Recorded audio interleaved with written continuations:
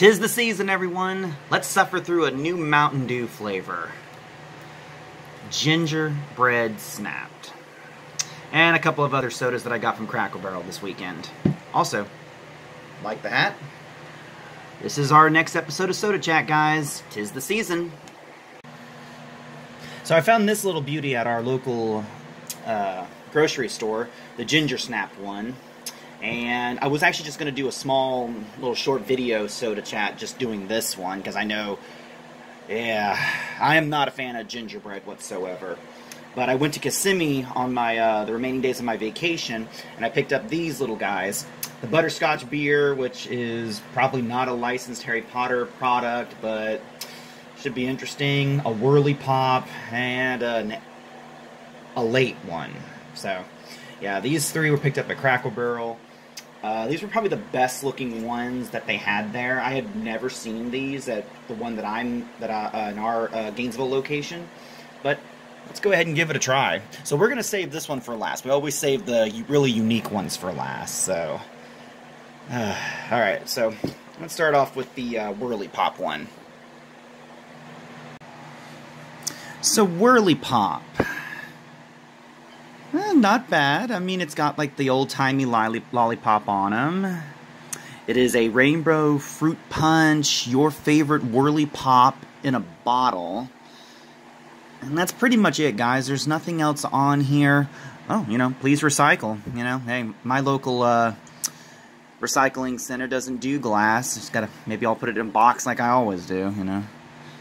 And uh, we actually have a I guess this is a company named Adams and Brooks Incorporated. And they got their address. I know we don't really take a close look at some of these bottles. I kind of regret that in the past, but you know, this one is just pretty plain. There's just nothing else on here. Yeah. All right, guys. Well, let's give it a try.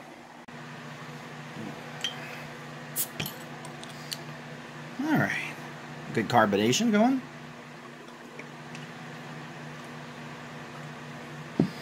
Not smelling anything from this distance. But, ooh. Very raspberry um, scent to it. It's not overpowering. Does this remind me of a Whirly Pop? Maybe? I mean, it's got a good color to it. I mean, it's blue. I mean, I guess it's what happens if you uh, pulverize all these together. Well, let's give it a try.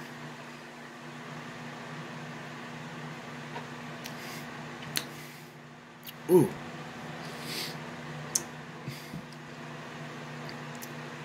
I like it. It's got a very intense sweetness to it. There's some citrus flavors, but I'm really only getting raspberry. Uh, yeah, actually, I do really like this one. I'd actually get this one again if they had it at our Cracker Barrel. Uh, I don't remember seeing any of this one on any of the uh, Beverage Direct or the Soda Emporium. So this might be just one that they got maybe from a different catalog or something. It's kind of like how Scaffs had carried my uh, our local gas our uh, grocery store had carried the flathead sodas for a while. So it might have just been a shipment that they just got on a whim, but. Oh yeah, I really like this one. Is it a mixer? You could probably mix some vodka in this one.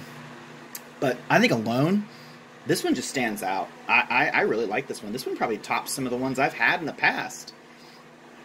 So, Adams and Brooks, I think you got a hit here. All right, let's move on to the next one. And moving on to the butter scotch beer for all ages. So, if you're a fan of Harry Potter like I am, not so much these days with me. I've moved on. I was a huge one, uh, huge fan back in uh, high school and uh, college. But I've really always wanted to try butter beer, and this is just butterscotch beer. And nowhere on here has it any type of indication that this is a licensed product from the Harry Potter franchise series, what, what have you. And I don't think that this is licensed. Magical foods and drinks approved by the ministry approved by the ministry of foods and drinks. I would actually make that a little bit lighter. It's kind of hard to see that. Non-alcoholic of course. They had um this one and they also had a like i think like a smaller version at the cracker barrel i was at but never had it before contains milk interesting a milky soda all right, well, let's do this, guys. Okay.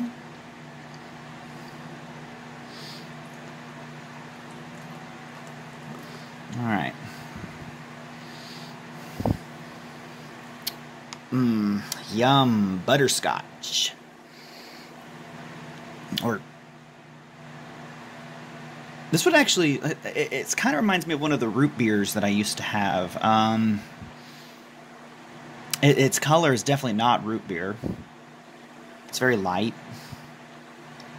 All right, bottoms up.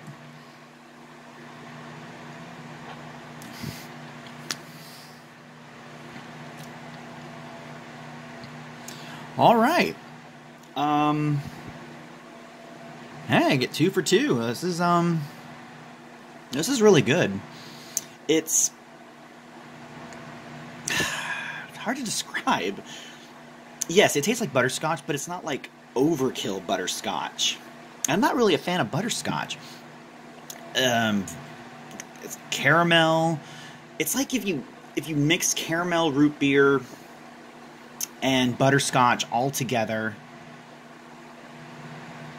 Yeah, I mean it's just that good. I, I really can't I can't fault this one. I mean, I think that you know the label itself is very bland, not licensed. Uh, I'm very convinced of that, but this is really good. I would actually get this one again. I would not think this is a mixer. I, I can't think of a brandy, whiskey, cognac. I, I, wouldn't. I wouldn't mess with this. This is perfect the way that it is. Mm-hmm.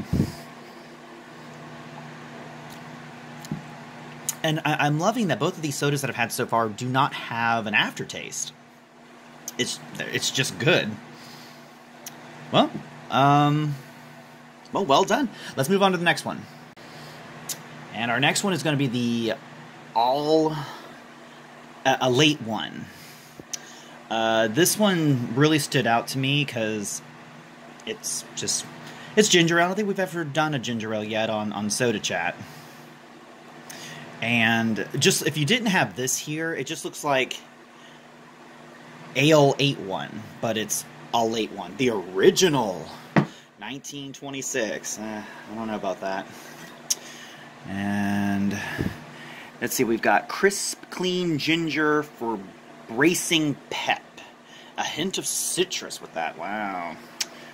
Oh, wow, we got a blurb here. Let's see what we got. In, let's see, the best of the bluegrass in green glass. That's cute. So in 1926, my great great grand my great great Uncle Lee introduced a ginger and citrus soft drink like no other at the Clark County Fair. From that day on, the indescribable taste of this bluegrass favorite would be known as a late one, or the latest thing for generations later. I still blend the secret recipe from Uncle Lee's handwritten notes. Open one yourself and taste the tradition. Fielding Rogers, fourth generation owner. Well, I mean that's that's interesting. All right, well, um, let's go ahead and give it a taste. I mean, I'm a fan of ginger ale, so uh, let's see if this holds up to expectations.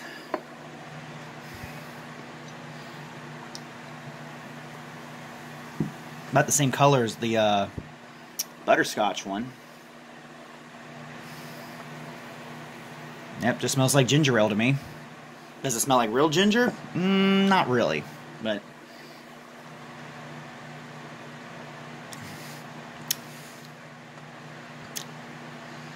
Hmm.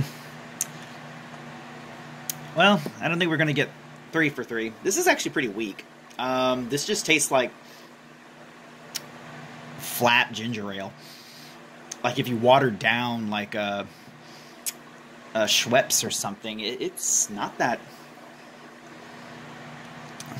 yeah, I'm not getting anything. It's just it's just lackluster, and it's not very appetizing either. It, it's it's I don't like it. I mean, if this, I mean, he, he really tried to sell you it on the on the blurb back here, but this is this is just not good. I, I, I'm sorry, a late one. Um, I'd really kind of modify that recipe. Maybe some people really like it.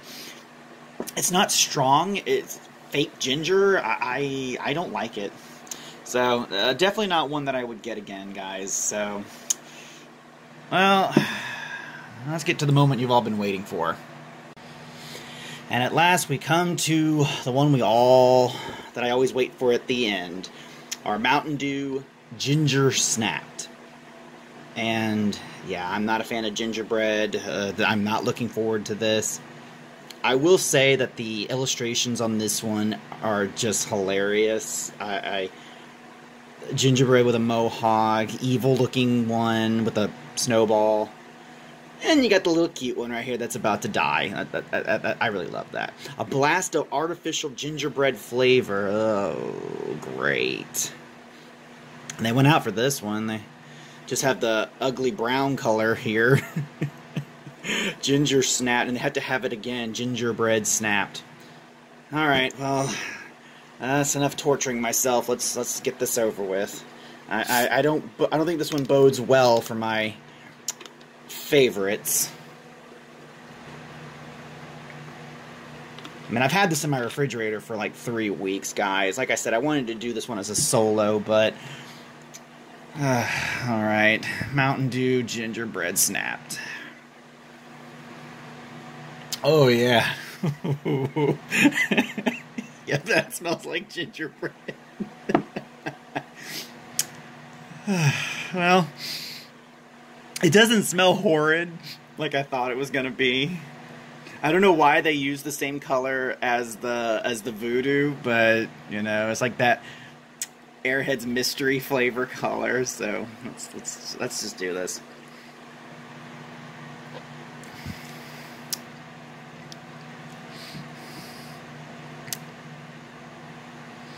Well, for something that's supposed to be a blast of gingerbread flavor, only my nose is getting the scent. It is it is it is bland. There there's absolutely no flavor in this. And uh, and as a second try, yeah, it, it, there's no flavor in this, which is actually kind of strange. I, don't I don't hate it. I actually hate the smell more this is just a neutral Mountain Dew. I, I, I think they failed in their department on this one. I I really don't have anything else to say about this. There's no I, I can't give you a flavor from this.